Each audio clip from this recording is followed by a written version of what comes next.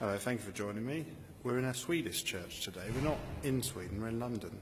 This is the Swedish church of, I think it's, how to say her name, it's Erekelenora. I'm probably not pronouncing that quite right, but it's the lady just up there behind me, that's a picture of her. So th- this is the only Swedish church in England. It's because Swedish seamen used to get stranded here in London. So that's how the community started. And it really is quite a beautiful building. It's not a huge church, in fact it's quite small, but it's really worth coming to see. It's just round the corner from Edgware Road Station.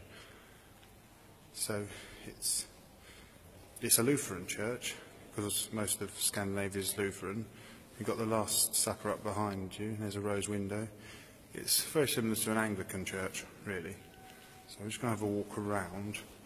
Let's have a quick look out here, then we're going to go down and outside, see the outside.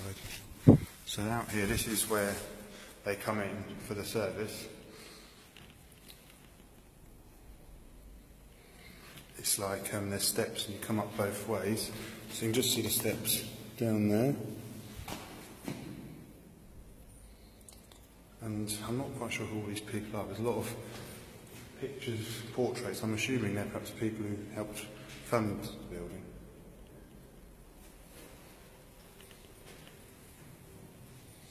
So if we were coming to a service here, we would be coming from down, down there, up these stairs, up the stairs there behind me,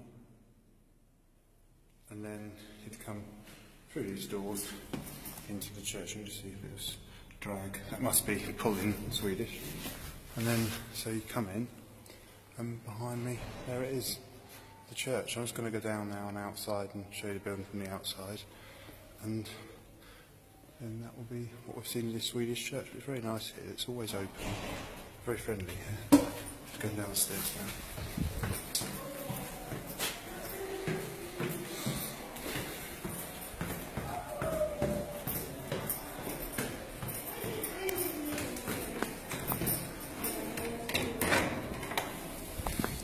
Now we're outside.